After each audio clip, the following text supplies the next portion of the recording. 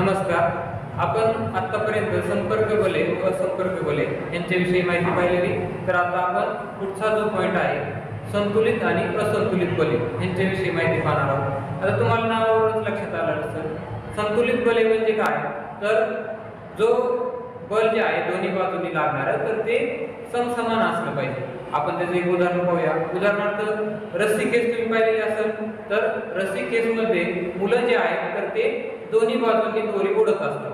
मग त्यावेळेस आपल्याला पाहिलं असतं की ज्यावेळेस दोरी स्थिर राहते याचा अर्थ डाव्या बाजूला आणि उजव्या बाजूला असणारे जे रस्सी खेचणारे जे मुलं आहेत तर ते दोन्ही बाजूंनी सारखंच बल लावत आहे आणि त्यामुळं मग रस्सी जी आहे कोणत्याही दिशेला जात नाही.